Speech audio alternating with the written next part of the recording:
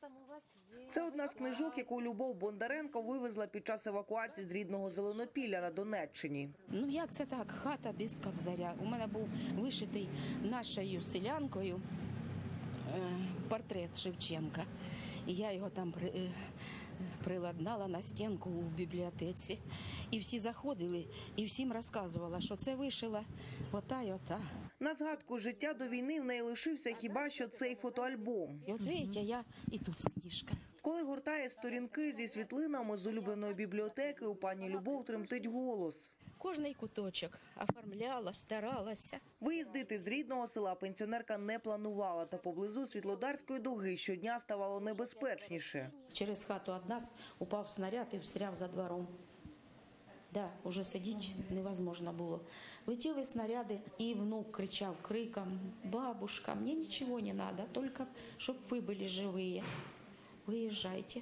У Черкаси пенсіонерка переїхала минулої осені. Тоді серед звичних речей з рідної домівки взяла і те, що завжди зігрівало душу. Брала книги з собою, тому що я робила з дітьми, любила книги, читала дітям книги. Навіть коли вже в дитячому саду пішла на пенсію для життя, чому-то вони учать. Вот.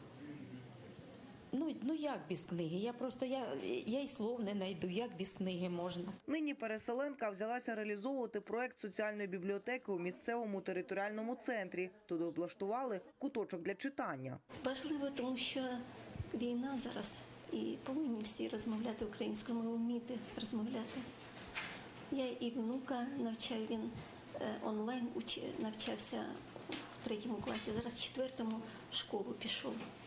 І з ним розмовляю українською мовою, стараюсь. Люблю українську, тож я українка. Почитати книжки безкоштовно тут може взяти кожен. І це не лише цікаве дозвілля, але й можливість підтягнути знання української. Дуже багато ВПО, і вони хочуть вивчати українську мову. Хотять, то для них це дуже важливо. Дуже і навіть ті люди, які проживали в Черкасах, е, в нас завжди був суржик. І для того, щоб розмовляти чистою українською мовою, потрібно читати книжки. Долучитись до проекту можуть усі, хто готовий поділитись книжками. Люди нам приносять різноманітну лі- літературу, так як художню, е, так і наукову, кулінарні рецепти. Хто чим цікавиться, е, те собі і вибирає.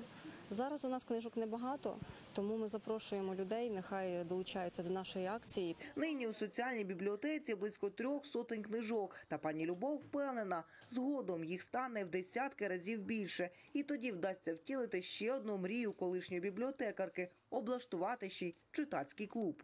Ірина Васюра, Денис Кононенко, подробиці телеканал Інтер, марафон Єдині новини.